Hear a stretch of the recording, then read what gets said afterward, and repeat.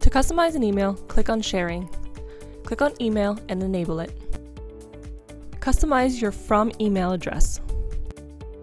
You can also change the subject line of your email.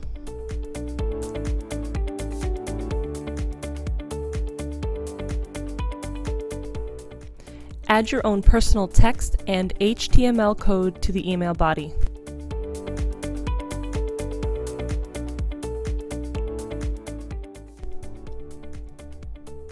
Click the Image button to add the embedded image. Click Attached Image URL to have the image shown as an attachment.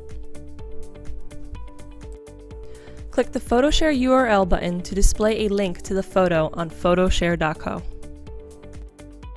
Click Sharing icons to add sharing options to the email. Enable Mask Email to mask users' emails during input. Click Send Test Email to send a sample email to yourself.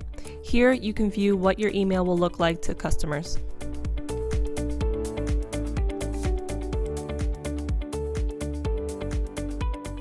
Click Save to save your email settings.